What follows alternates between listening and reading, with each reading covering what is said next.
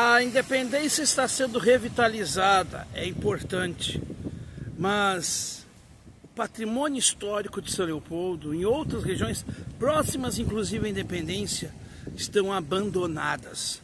A praça, aqui a Praça Tiradentes, que você está vendo as imagens aí, estará abandonada.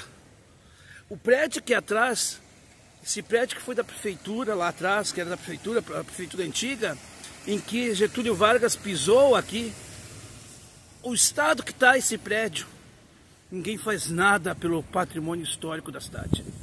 Porque nós não temos um secretário de cultura e não temos prefeito também.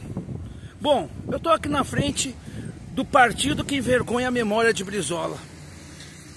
Aqui na praça onde tem o busto de Getúlio Vargas, que hoje a filial do PT aqui da frente, eu acho que também tem tanto desprezo que mostra desprezo pelo despreparo, pelo descuido desse espaço público.